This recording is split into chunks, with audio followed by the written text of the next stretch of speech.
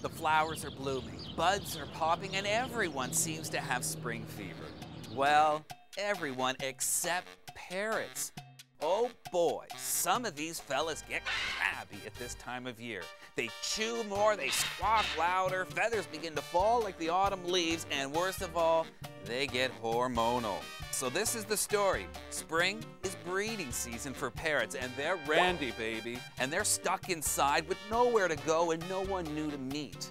So ease their frustration. Take away happy huts and fuzzy buddies. This is only a tease. Replace them with chew toys and spend time with them. You can also add some aloe juice to water and give them a bath. This will help with plucking or molting. And guess what? This is perfectly normal. Remain patient with your fine feathered friend and remember, this too shall pass.